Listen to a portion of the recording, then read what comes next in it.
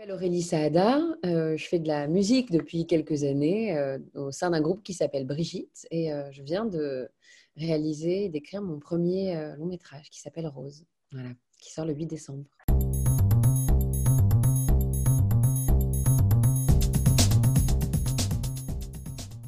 Rose, c'est l'histoire d'une femme qui a 78 ans et qui n'a jamais rien fait sans son mari, qui n'a jamais descendu un escalier sans s'accrocher au bras de son mari, qui est mère, grand-mère, euh, qui est euh, voilà, très heureuse à l'endroit où elle se trouve. Et euh, son mari décède et elle pense qu'elle ne peut pas faire la vie sans lui, qu'elle n'y arrivera pas. Et un soir, sa fille l'emmène dans un dîner, ne supportant plus voir sa mère abandonner la vie et lâcher la rampe. Elle l'emmène un soir dans un dîner. Et à ce dîner, elle va croiser une personne un peu particulière, très vite, comme ça, qui va juste lui proposer, qui va lui euh, lui permettre d'avoir un déclic. Elle va croiser euh, Marceline Loridan Evans. Je ne sais pas si vous vous souvenez d'elle, mais c'est euh, une femme qui était dans le même convoi pour Auschwitz que Simone Veil et qui était une femme particulièrement vivante, une survivante dans, tous les sens du terme. Elle, était, elle, elle, réveillait toutes les générations, elle, bousculait les gens. Et donc, quand elle croise cette femme qui parle de sexe librement, qui est vivante, qui, est active, qui, qui, picole, qui fume, qui a l'air d'être une liberté folle, elle va réaliser que la vie euh, euh, n'est pas terminée tant qu'elle n'est pas terminée, qu'elle n'est peut-être pas juste une mère, une grand-mère et une veuve, mais qu'elle est une femme et que jusqu'au bout de la vie, elle a le droit d'en jouir. C'était pas particulièrement une, une envie de, de cinéma et c'est marrant parce que vous dites euh, derrière des personnages et, et j'ai été comédienne il y a très très longtemps, mais ce n'était pas vraiment mon truc, justement parce que je crois que moi, ce qui m'intéresse euh, dans ma démarche, c'est d'écrire euh, des, euh, des, choses très intimes.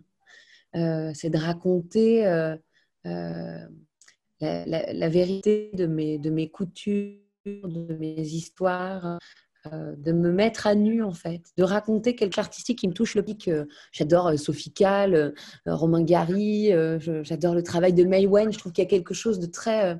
Moi, je suis très bousculée par les gens qui, qui, parlent, qui osent parler d'eux et, d'en faire quelque chose. Et, et, donc, je crois que Brigitte, c'était absolument pas un personnage, mais c'était. Même si je portais des robes à paillettes, euh, je crois que les sujets étaient particulièrement intimes, euh, euh, que ce soit la difficulté d'avoir des enfants, la perte d'un père, enfin des choses comme ça. C'était c'est très autobiographique. Il n'y a rien qui a été emprunté à la vie des autres. et, je crois que, je sais pas, le désir de, de cinéma, il s'est imposé un peu à moi, comme ça, comme un, euh, il n'y avait rien de volontariste. C'était un vrai. Euh, comme si le désir m'avait attaqué. Euh, je fais des images pour Brigitte depuis longtemps. Je, réalise des clips et des pubs et, je, m'occupe de tout l'artwork de notre groupe depuis le départ. Mais là, un soir, moi aussi, j'ai eu un déclic. Et je me suis dit, cette histoire qui est en train de, de, te trotter dans la tête et de ne plus te lâcher, c'est pas, pas une chanson il faut que ce soit des personnages qui l'incarnent. Euh, je, crois que c'est un film. D'abord, je pense que quand on écrit, on se loge dans à peu près tous les personnages d'un film. On raconte partout quelque chose de soi. Euh, et euh, Rose, bah, bizarrement, je crois que c'est moi aussi. parce que d'abord, il n'y a pas d'âge pour se sentir vieux.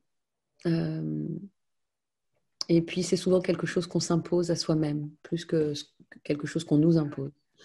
Euh, moi, à 30 ans, j'ai cru que j'ai cru que j'étais vieille. Je me suis retrouvée seule avec mes deux filles, larguées. Euh, l'homme que j'avais aimé était parti vivre au bout du monde pour une autre femme, et j'ai cru que j'étais trop vieille pour tout. et il m'a fallu un déclic, voilà. Et donc, je pense que c'est quelque chose qui nous attaque euh, à tout âge, à tout moment de la vie, que euh, vivre des deuils, euh, que ce soit des deuils de, gens qu'on a aimés ou des, deuils de soi, ou des voilà, c'est quelque chose qui nous prend, qui nous prend voilà, à tout moment de la vie, et tout le monde vit, subit et, peut faire quelque chose aussi grâce à ça. Et ben, bizarrement, un peu comme une chanson ou comme un album. L'idée au départ, elle, le, sujet m'a attaqué. Vraiment, j'ai été attaquée par ce sujet. Il y a une des scènes du film qui est quelque chose qui s'est produit chez moi un soir un dîner. Euh, euh, et à la fin de ce dîner, je me suis dit, euh, j'ai pris mon, ordinateur et j'ai écrit, j'ai écrit ce synopsis. Et je, j'étais absolument pas sûre de moi parce que j'avais jamais, jamais écrit de film avant. Donc, euh, j'ai écrit cette histoire et je l'ai envoyée à une amie à moi qui est euh, scénariste. Et euh, je lui ai dit voilà, est-ce que tu penses que ça vaut le coup que je creuse? Est-ce que tu crois que c'est un film ou alors j'abandonne tout de suite et ça sert à rien et, est-ce que tu crois? Ou alors, voilà, j'en, ferai une chanson, je sais pas. Et elle m'a dit non, non, j'ai dit c'est un film, c'est ça me touche beaucoup et euh, j'aimerais bien euh, travailler dessus avec toi si, tu veux bien de moi. Et, euh, je, dis, ben, allons-y, pourquoi pas. Et du coup, j'ai une, une, super alliée parce que, et ce qui est marrant, parce que le synopsis que j'ai écrit, je l'ai retrouvé il n'y a pas longtemps dans les mails que j'ai envoyés. Et en fait, rien n'a changé. c'est exactement l'histoire de Rose aujourd'hui. Ça pourrait être le, résumé du, film. Et je, voilà, je crois que c'est euh, euh, cette, histoire, elle était déjà comme. Je pense d'ailleurs que les, les histoires qu'on écrit, on les mûrit euh, dans, nos, dans, nos, cœurs, dans nos, dans nos vies, pendant longtemps en fait, avant de décider de les écrire. quand on commence à les écrire, je pense que ça fait longtemps qu'elles sont là. J'ai envie de dire le cinéma de l'intime, mais l'intime, il peut être un peu grandiose. Je crois que ce qui m'a nourri, c'est autant les films italiens euh, des années 70 où il y a toujours des histoires de, de famille, de nourriture, euh, de, de, silence dans le bruit. Je, crois que je suis complètement bousculée, familière de ce cinéma que j'aime vraiment très fort. Et, mais j'adore aussi le cinéma. J'aime le cinéma de Martin Scorsese parce qu'il glisse des recettes de cuisine, il glisse sa mère à l'intérieur et en fait, j'aime son cinéma euh, pour euh, pour ce qu'il glisse de très familier toujours en fait. Et euh, ouais voilà, je crois je crois que c'est ce, ce, cinéma me, me, bouscule particulièrement, celui où il est il est question de, petites histoires dans une grande histoire même dans Cassavetes, où moi je, je, suis de cette scène où on mange des pâtes pendant très très longtemps euh, et, c'est la vie. Et moi, je suis hypnotisée par ces, par ces scènes de vie. J'avais envie d'aller dans, dans ce cinéma-là parce que c'est celui qui me... D'abord, euh, j'ai l'impression que quand j'ai vu ces films, quand j'ai découvert ces films la première fois, j'avais l'impression d'être... Euh, de, de voir ma famille, de voir, de voir ce que je connaissais en fait, il n'y a, pas de question. Il n'y avait qu'elle. Euh, c'était elle, tout de suite. Euh, je, n'ai rencontré personne d'autre. Je n'ai voulu voir aucune autre actrice. D'ailleurs, c'était euh, hyper touchant parce que quand je lui ai envoyé le scénario, elle m'a rappelé après et elle m'a dit Je vous en supplie, dites-moi dites-moi qu'il n'y a pas quelqu'un d'autre. je lui ai dit Mais non, il n'y a que vous, Françoise. Pour moi, c'est vous. et elle m'a dit promettez-moi, promettez-moi que vous l'envoyez pas à quelqu'un d'autre ce film. Je veux être cette, femme-là. Je veux être cette femme qui pue et qui met du rouge à lèvres. Je... C'est moi, c'est moi, Rose.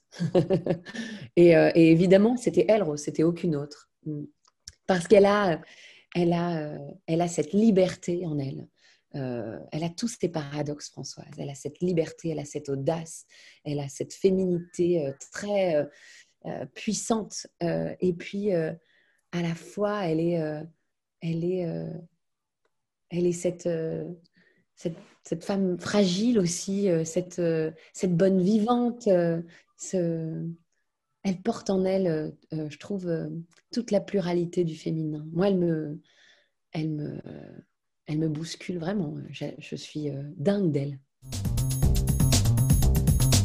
Or, c'était aussi une évidence pour moi à l'écriture. Dès que j'ai commencé à écrire le film, elle avait en elle cet Orient, cette chaleur, mais comme Françoise en fait. Elles ont en elles cette espèce de, de, panache, de, elles sont sanguines, elles ont quelque chose de très absolument pas effacé. Il y a du il y a du corps, il y a du caractère, et c'est comme des figues de barbarie. On sent qu'à l'intérieur, c'est du sucre, c'est des, des, larmes, c'est de l'émotion pure. Et, moi, j'admire énormément le travail d'Or depuis longtemps, et puis euh, et son allure aussi. Je crois que euh, je suis amoureuse euh, des, actrices et, des acteurs de mon film, et j'ai adoré travailler avec elle parce qu'elle a, a une rigueur, elle a un un professionnalisme, une sensibilité, une, lecture des choses euh, qui est absolument magnifique. Ça a été euh,